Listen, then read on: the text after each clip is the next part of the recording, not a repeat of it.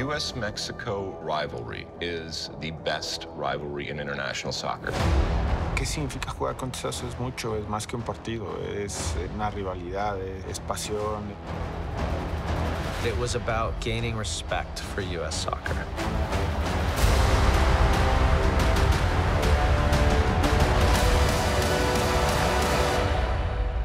Cosquillo en el estómago, te tiemblan las piernas, pero en cuanto pita el árbitro, todo se olvida.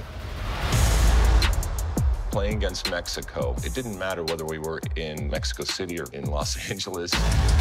El estadio está lleno y el estadio hay más mexicanos, pues es obvio que el ruido, el apoyo, los aplausos, el ruido favorable es, es hacia ti, ¿no? It felt like we're going to war, man.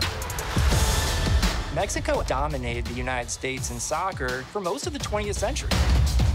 Decir, era una gran potencia, era el primer mundo, eran los ricos, pero en fútbol se le ganaba con facilidad. It was a real hostile environment. I get hit and I can feel it swelling up. Eh, vamos a luchar a conseguir a como lugar la, la victoria, ¿no?